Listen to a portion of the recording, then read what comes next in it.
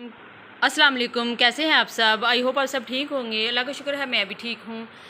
आज मैं आपके साथ ग्रोसरी की शॉपिंग शेयर कर रही हूँ। चलिए स्टार्ट करते हैं। बड़ी ईद भी आ रही है और उसके साथ मेरे बेटे की है बर्थडे तो मैंने सोचा चले मैं इकट्ठी ही शॉपिंग कर लेती हूँ।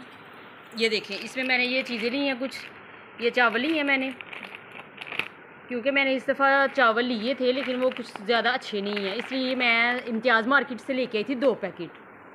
ये कौन से हैं जी? पूनम बिरयानी स्पेशल ये सेला चावल हैं।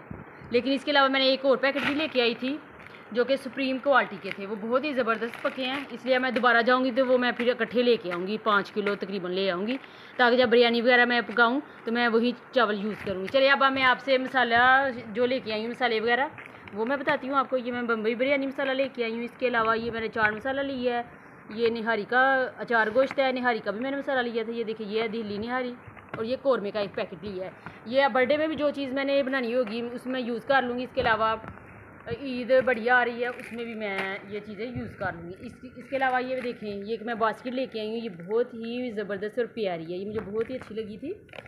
ये पिंक कलर की है, ये देखें, ये जैसे वो रूह अफ़ज़ा का कलर नहीं होता ठंडा ठंडा इसको देख के ही बहुत अच्छा फील होता है। इसके अलावा ये देखिए, ये मैं मैक्स लेमन मैक्स लेके आई थी डिश वाशर इसके अलावा ये मैं टावल लेके आई थी। टावल ये मैं डस्टिंग वगैरह के लिए या चूल्हा वगैरह साफ़ करने के लिए, जो भी मतलब ये बहुत अच्छे रहते हैं, पानी अच्छी तरह ऑब्ज़र्व कर लेते हैं ये। इसके अलावा ये देखिए, ये लेके आई थी मैं स्पंज क्लॉथ्स ये टेबल्स वगैरह मैं मतलब उनको साफ़ करने के लिए यूज़ करती हूँ ज़्यादातर। इसके अलावा ये मैं लेके आई थी स्कॉच ब्राइड्स के दो पैकेट लेके आई थी मैं। एक ये दो पैकेट लेके आई थी। एक मैं वो दूसरा लेके आई थी, जो फोम वाला होता है, वो मैंने यूज़ कर लिया ये बच्चों के लिए मैं लेके आई थी, ताकि बच्चों को मैं इसमें स्टार शेप में अंडा वगैरह आके दूँ। तो खुशी से वो खा लेंगे। ये एक स्पैचुला मैं लेके आई हूँ ग्रीन कलर का। और एक मैं, बल्कि दो लेके आई थी, एक मैंने लगा लिया, वो पिंक कलर का है। और ये मैंने मजरिंग कप लेके आई थी। इसके अलावा ये देखिए, ये मैं लेके आई थी कंटेनर चार पाँच है। ये मैं इम्तियाज़ मार्केट से लेके आई थी। मैंने बाज़ार से भी बहुत ज़्यादा बाई की हैं, लेकिन उनका मटेरियल इतना अच्छा नहीं होता। वहाँ का मुझे ये जो है ना, मटेरियल बहुत ज़बरदस्त लगा है। और ये देखें, ये कितना खूबसूरत है छोटा छोटा सा, प्यारा सा क्यूट सा लग रहा है। ये बच्चों को बहुत अट्रैक्ट करता है। और ये नीचे देखें, ये बनी हुई ऐसे लग रहा है जैसे बैंगल्स हैं। ये आप बच्चों को मैंगो वगैरह या इसके अलावा हरबूजा, इस तरह की चीज़ें आप काट के दें। बाद बच्चे पता है, नहीं खाते तो आप इस तरह उनको देंगे, ये कार्टून्स की शेप्स बनी हुई हैं ऊपर, ये देखें। तो बच्चे खुशी से ये खा लेंगे। इसके अलावा ये मैं दो बेड शीट्स लेके आई थी।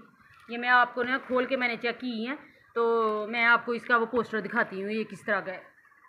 ये देखिए ये इस तरह की हैं, ये देखिए ये इसके नीचे ये देखिए झालर सी बनी हुई है चारों तरफ़। और ये जो दूसरी है, वो सिंपल है। ये देखिए, ये ब्लू कलर में है।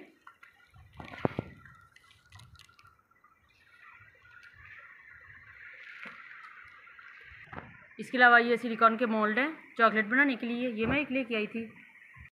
इसके अलावा मैंने कुछ फ्रोज़न आइटम्स ली थी, जिनमें पराठे लिए थे मैंने नगट्स लिए थे बच्चों के लिए और चपड़ी कबाब्स लिए थे।